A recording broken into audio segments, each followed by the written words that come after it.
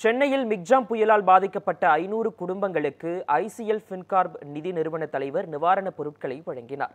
Michaung புயல் மற்றும் கனமழையால் சென்னை உள்பட நான்கு மாவட்ட பொதுமக்கள் மிகுந்த பாதிப்பிற்கு உள்ளாகினர். இந்நிலையில் தமிழ்நாடு அரசு மட்டுமின்றி பல்வேறு தனியார் நிறுவனங்களும் நிவாரணப் பணிகளில் ஈடுபட்டு வருகின்றனர்.